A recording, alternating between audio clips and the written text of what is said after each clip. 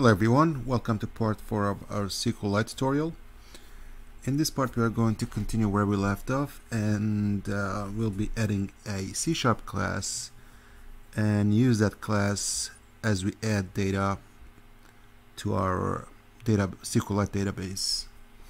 Okay, so far we created five methods. We started with create the table, creating the table and database at the same time basically. We added rows records. We deleted the rows and we updated the row and finally we've seen how to read the database.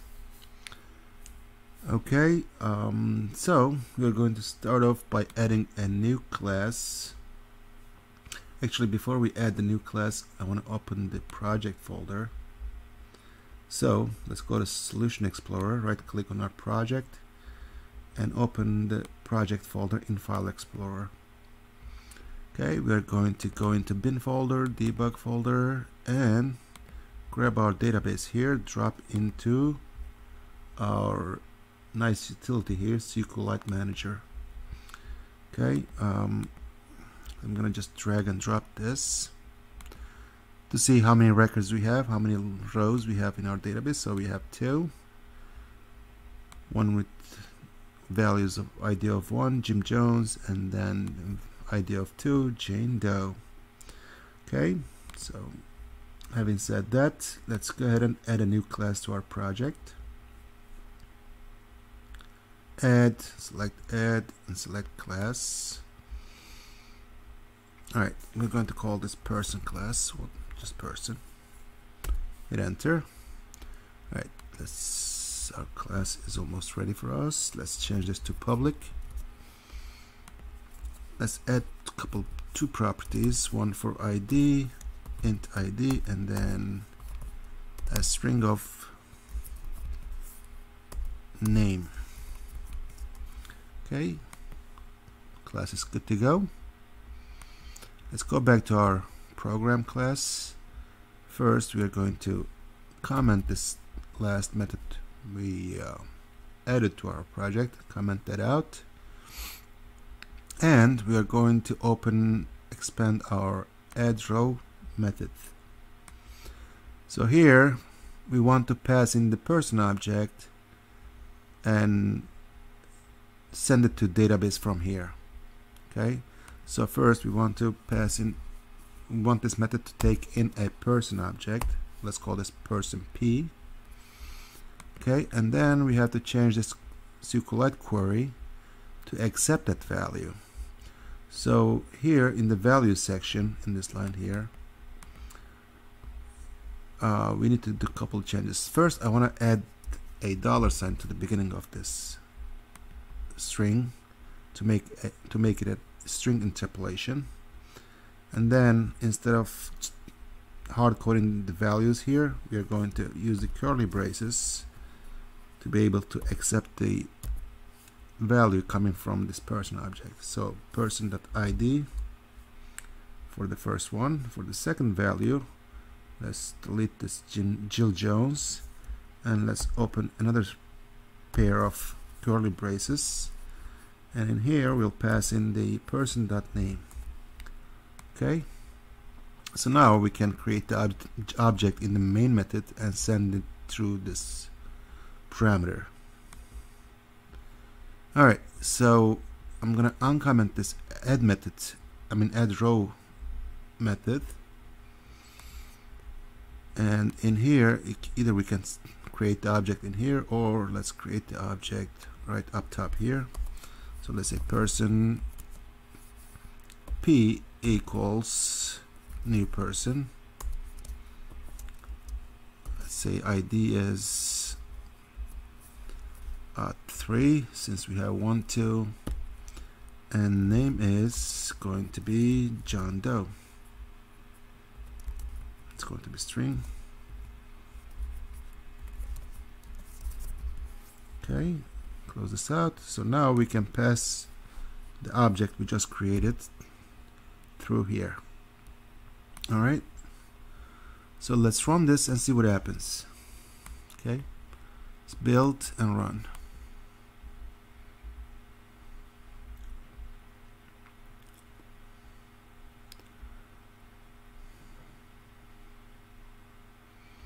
Okay, build succeeds. Let's run this.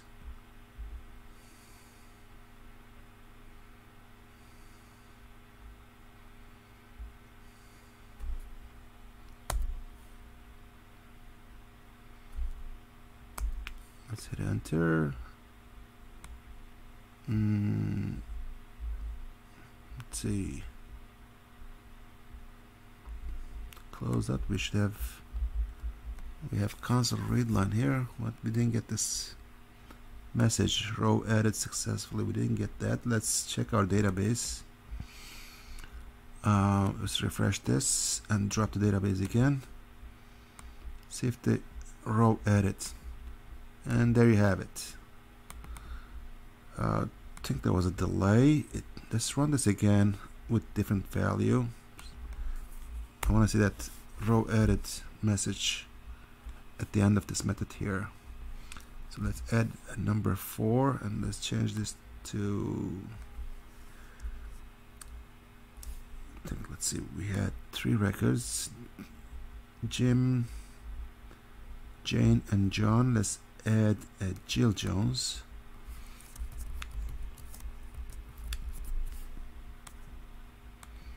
Alright and let's run this again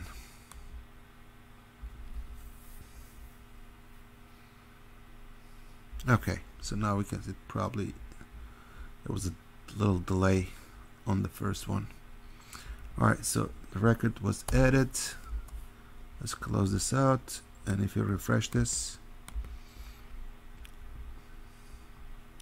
Let me see if I can just hit execute here.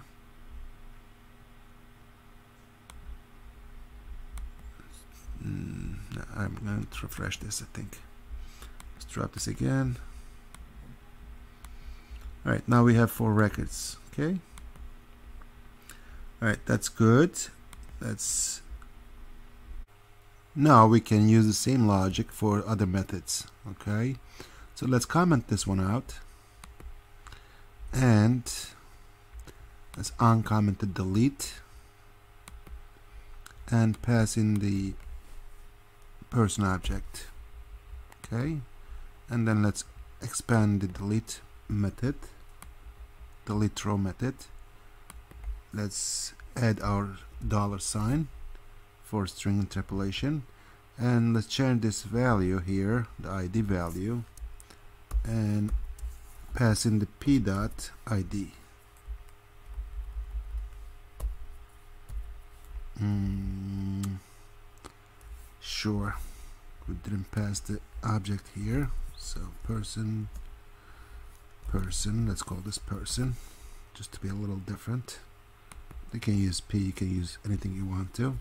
So person dot id. Okay. So now if we did right, we should delete the uh, last the person that that starts with ID of 4. Okay, and that's Jill Jones. Alright, so uh, let's save this and run this. Okay, says row deleted successfully. Hit enter and let's open our database.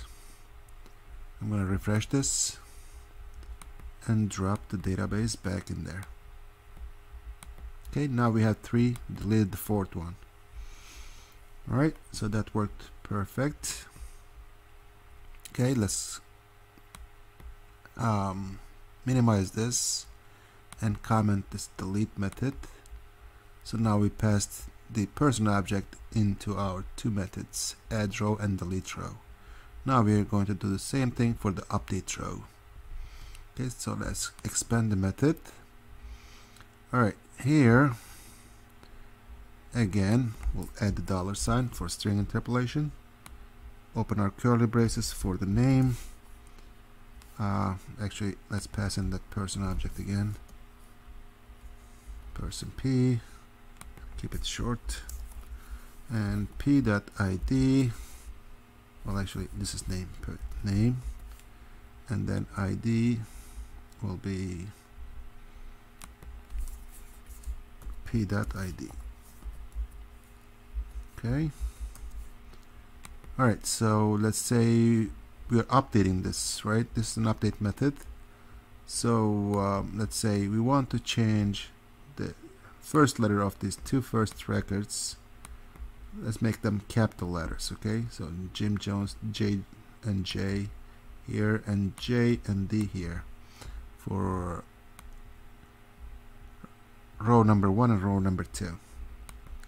Alright so let's change the ID to one and make this what was it again? Jim Jones. So this is going to be Jim Jones. So we have two capital letters J and J. And everything else here should be good. Let's uncomment the update method and pass in that person object. Okay alright let's run this. Okay row updated successfully. Uh, I got a little problem. What happened? Okay minimized by accident I think. Alright let's close this out.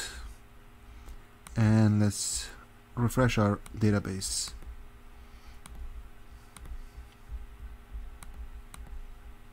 drop again. Alright as you can see our name was capitalized with the first letters. Let's do the same thing for record number two.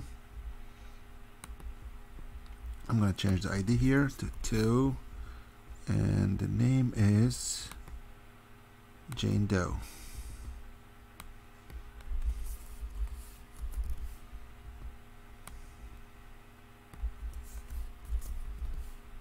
okay let's run this again.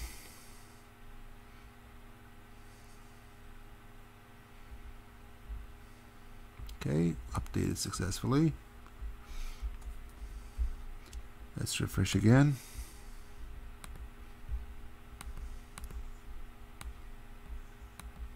Okay beautiful. So we capitalized the first letters for the first name and last name. Okay so far so good so basically we made our methods more flexible more dynamic by creating this person object and passing through the methods um, and uh, adding or deleting updating the records using this object. Now we don't have to change this SQLite queries every time we need to add a record or delete a record. Now we can use our person object and send through the parameter. Okay um, I think that's it for now. Um, in the next part we are going to probably um, get into the entity framework and uh, see how to use entity framework with SQLite database. Okay until then take it easy. Have a good day